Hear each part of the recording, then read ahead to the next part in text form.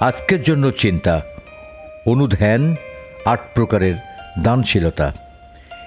ইহুদি দার্শনিক মেইমোনাইটস আট ধরনের দানশীলতা ব্যাখ্যা করেন।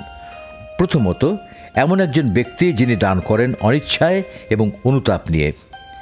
দ্বিতীয়ত, এমন একজন ব্যক্তি যিনি অনুগ্রহপূর্বক দান করেন, কিন্তু যতটুকু দেওয়া উচিত তার চেয়ে কম দেন। তৃতীয়ত, এমন একজন ব্যক্তি যিনি যতটুকু উচিত সেই পরিমাণই দান করেন, কিন্তু চাওয়ার পর। চতুর্থত, এমন একজন ব্যক্তি যিনি চাওয়ার আগেই দান করেন। পঞ্চমত, এমন একজন ব্যক্তি যিনি কাকে দান করছেন তা জানেন না, যদিও গ্রহিতা দাতার পরিচয় জানেন। ষষ্ঠত, এমন একজন ব্যক্তি যিনি তার পরিচয় না দিয়ে দান করেন।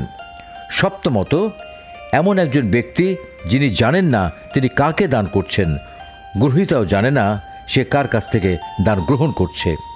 অষ্টমত এমন একজন ব্যক্তি যিনি অন্যকে স্বাবলম্বী করার জন্য উপহার বা ধার দেন বা গ্রহিতাকে চাকরি খুঁজে দিয়ে থাকেন। মনে রাখুন, পবিত্র বাইবেল বলে, প্রত্যেকেরই সেই জিনিসটি দান করা যা তিনি নিজে অন্তর থেকে দান করার সিদ্ধান্ত নিয়েছেন। এই দান যেন অনুশোচনা বা বাধ্যবাধকতা থেকে না হয়, কারণ ঈশ্বর প্রফুল্ল অন্তরের দানকারীকেই ভালোবাসেন। অতএব বন্ধুগণ, একটু চিন্তা করুন। আজ আপনার কি মনোভাব নিয়ে দান করছেন?